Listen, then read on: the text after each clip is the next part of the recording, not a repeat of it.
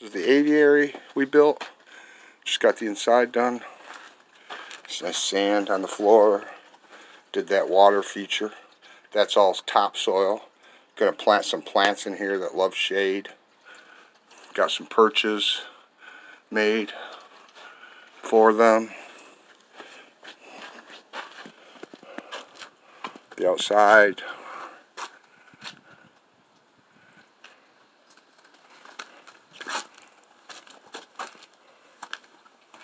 Nice.